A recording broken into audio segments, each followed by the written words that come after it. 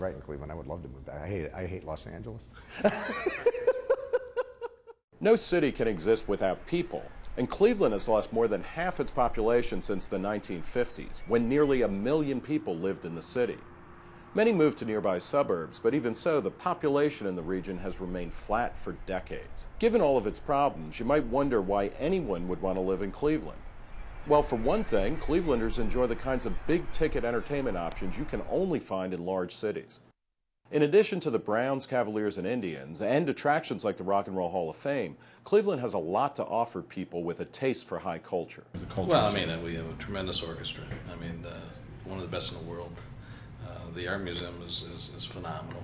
I mean, Playhouse Square is the largest contiguous theater center in America outside Broadway. These cultural attractions are great, but can they really do anything to help revitalize Cleveland?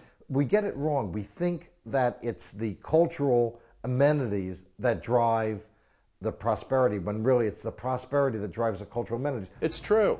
The orchestra, museum, and theaters in Cleveland are artifacts of an era when Cleveland was an industrial powerhouse and threw off tons of cash. The Rock and Roll Hall of Fame and the sports complexes, on the other hand, were built with hundreds of millions of taxpayer dollars in sweetheart deals during Cleveland's economic decline. These amenities are not the fruits of a vibrant economy, they're monuments to the empty promises of Cleveland politicians. And while the Cavaliers provide a great entertainment option for tourists from the suburbs, you can't judge a city's health by looking at its basketball team. I mean, LeBron James is not going to save Cleveland. So, what else does Cleveland have going for it? Well, there's no denying that many people absolutely love the city. In fact, we found some interesting folks who were so charmed by Cleveland that they decided to move here. In a past life, Les Roberts was a Hollywood producer and writer for shows like The Hollywood Squares and The Lucy Show.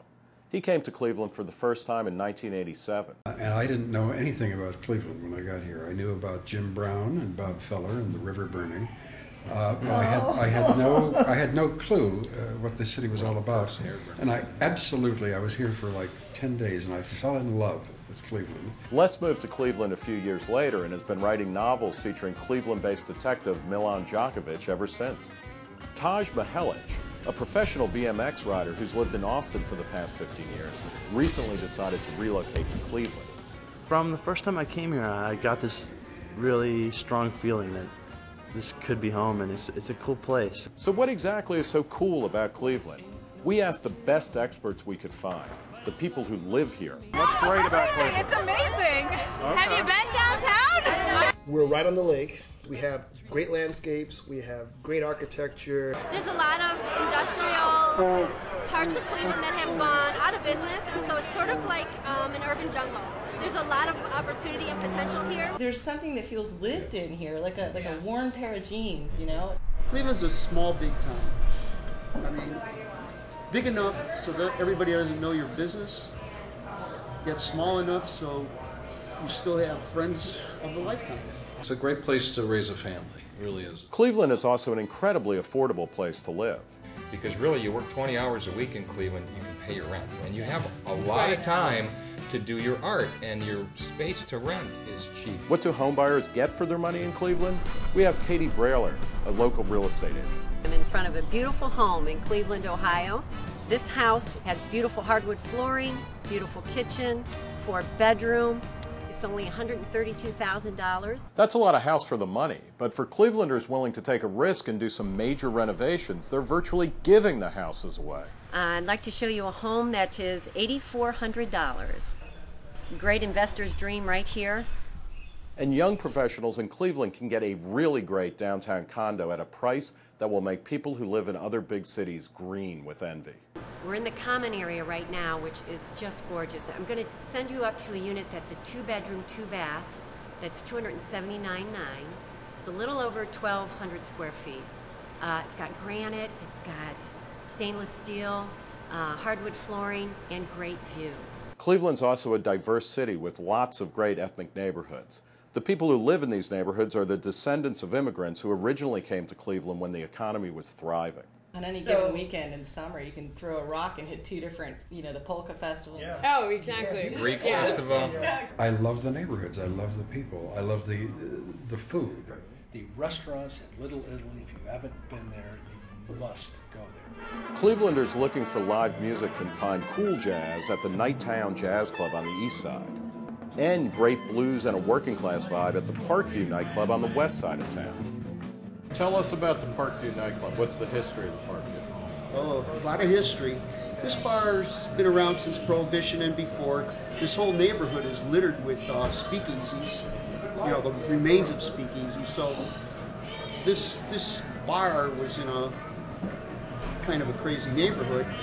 One of our favorite joints in Cleveland is a one-of-a-kind place called the Velvet Tango Room. You're at the Velvet Tango Room, which is a very unique cocktail lounge in Cleveland. And the uh, the mission of the Velvet Tango Room is to uh, keep alive, burning bright, the flame of uh, cocktail culture. Classic cocktails, not cocktails that taste like gummy bears. We're the torchbearers of, of what a classic cocktail should be. Cleveland also has hidden gems like Ray's Indoor Mountain Bike Park, the only one of its kind in the whole world. It was a dream of mine for years, and then I had an opportunity, and I found some space, and just threw the dice, spent my life savings. Since the first time I've come here, Ray's has been what I think just is the happiest place on bikes that I've ever been around. Uh, everyone's riding. You have three-year-old kids to old men and moms and dads and pros, and it's great.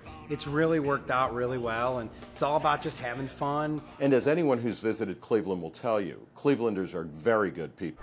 The great part is, is the way the people treat you. You know, it's like very friendly. You know, everybody's happy-go-lucky. Okay. You know. Um, maybe the most important thing that I like about Cleveland is the people, and the people are down to earth, and um, they'll tell you like it is, and they have a good time. Clevelanders certainly know how to have a good time on St. Patrick's Day.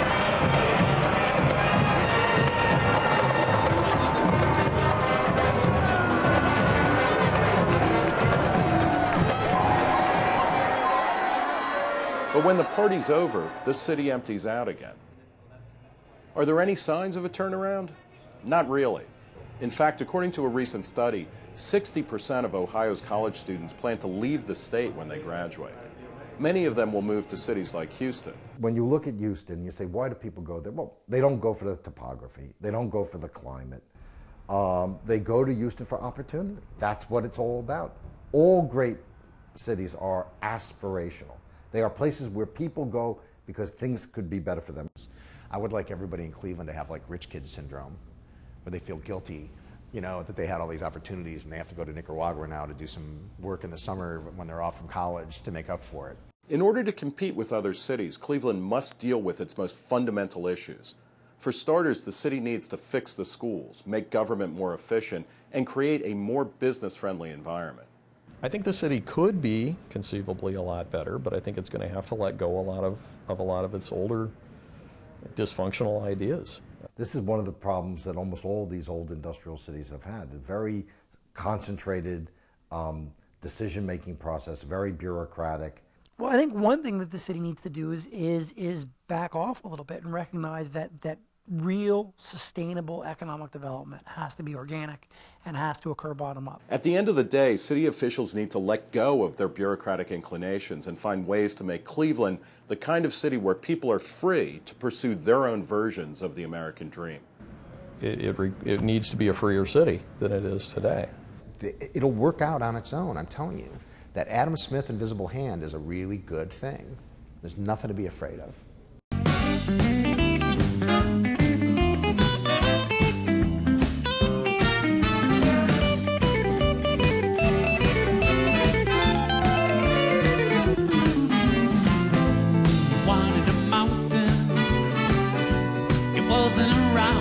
You gotta be